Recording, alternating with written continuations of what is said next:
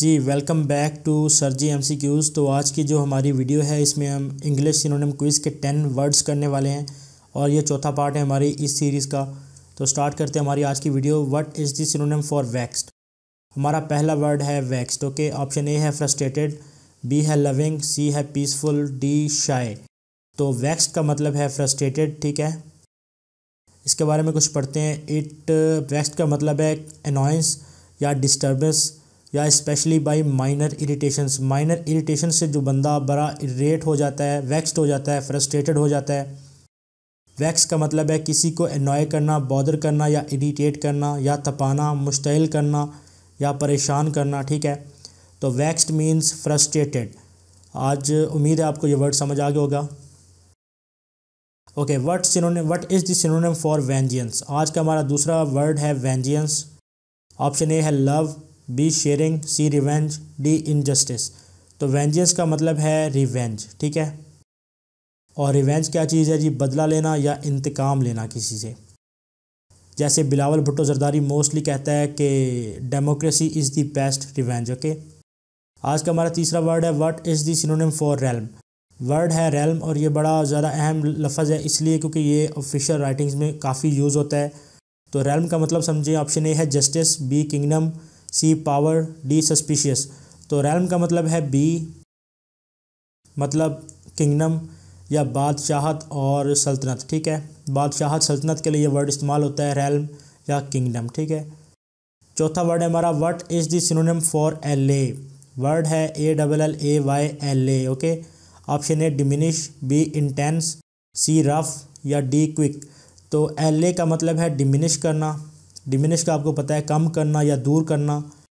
L A जो है, ये सूद के साथ सिनोनिम है सूद इसका सिनोनिम है सूद का मतलब होता है किसी की मुसीबत या परेशानी। कम करना एसवेज करना, कम करना या एलिविएट करना भी इसी के लिए इस्तेमाल हो सकता है। एल एलिविएट सूद या डिमिनिश करना, ठीक है? होप आपको समझ आ गया होगा। नेक्स्ट वर्ड है हमारा word is the for loquacious word है हमारा लॉकवेशियस ठीक है? लॉकवेशियस का जो सिनोनिम है, वो पूछा गया। ऑप्शन ए है talkative B less intense C showy D beautiful तो लॉकवेशियस का जो सिनोनिम है, वो है टॉकेटिव टॉकेटिव का आपको पता है, बातूनी या बातों से भरपूर a person who is very talkative is loquacious person okay और ये वाला जो वर्ड लॉकवेशियस है, ये पीपीएससी में कई मरतबा पूछा जा चुका है for your information question number six है what is the synonym for atrocities atrocities का जो सिनोनिम है, वो क्या हो सकता है? ऑप्शन ए है wicked acts B culprit C lousy D bad words तो एट्रोसिटीज़ का जो सिनोनिम है, वो क्या है? आप गेस करें। इसका जवाब है विकेड एक्ट्स ठीक है?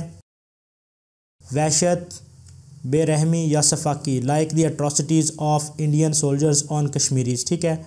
उनके विकेड एक्ट्स उनकी बेरहमी या उनकी सफाकी okay question number seven what is the synonym for deplorable word है deplorable option A disgrace B strong intentions C crying या डी ट्रांसपोर्टेशन तो डेप्लोरेबल का क्या मतलब है?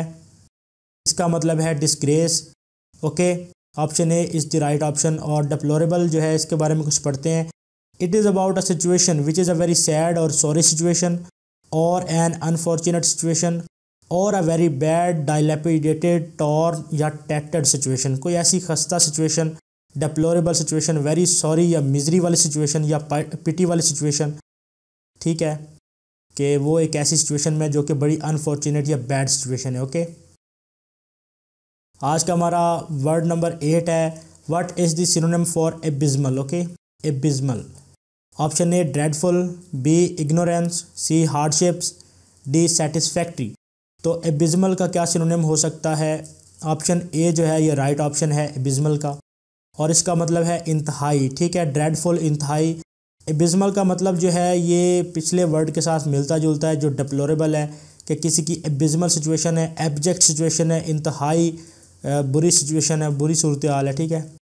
ओके क्वेश्चन नाइन है what is the for amateur word है amateur okay option A journey B a person who engage in non profit activity C archaeologist D language तो amateur का मतलब होता है a person who engages in non profit activity कोई ऐसा बंदा जो नॉन प्रॉफिट एक्टिविटी में अपने आप को मशहूर रखे, शौकिया बंदा या अनाड़ी या गैर पेशावर बंदा दिल तौत बंदा, ओके डिस इंटरेस्टेड पर्सन कोई ऐसा बंदा जो कि प्रोफेशनल नहीं है नोवेस है, शौकिया है, अनाड़ी है या गैर पेशावर नॉन प्रोफेशनल बंदा है उसके लिए वर्ड यूज़ होता है एमेचर ठीक है? आज का हमारा लास्ट वर्ड है what is the synonym for sleuth word है सल्यूथ ठीक है? Option A detective B criminal C beggar D painter तो सल्यूथ का जो सही सिनोनिम है, वो है ऑप्शन ए सल्यूथ का मतलब है डिटेक्टिव और डिटेक्टिव का आपको पता है क्या मतलब होता है? डिटेक्टिव का मतलब है जासूसी करना या स्पाई करना ओके स्नूपी या स्नूप करना मतलब देखना, गौर से ऑब्ज़र्व करना या इंक्वायर करना सीक्रेटली ठीक है? तो सल्यूथ का मतलब भी आपको समझ आ गया होगा सल्यूथ मीन्स अ डिटेक्टिव और इंक्वायरिंग सीक्रेटली या स्पाई करना, ठीक है? आज की जो हमारी वीडियो है, ये यहाँ पे ख़त्म हो रही है। उम्मीद है ये वर्ड आपको अच्छे लगे होंगे। आप इनको अच्छे से समझिए आप अब आप आप खुद से भी इनकी एग्जांपल्स बना के इसको वोकेबलरी अपनी में ऐड कर सकते हैं, ठीक है? तो नेक्स्ट वीडियो तक मुझे इजाज़त दें। अपना ख्याल रखिएगा। अल्लाह हाफिज़।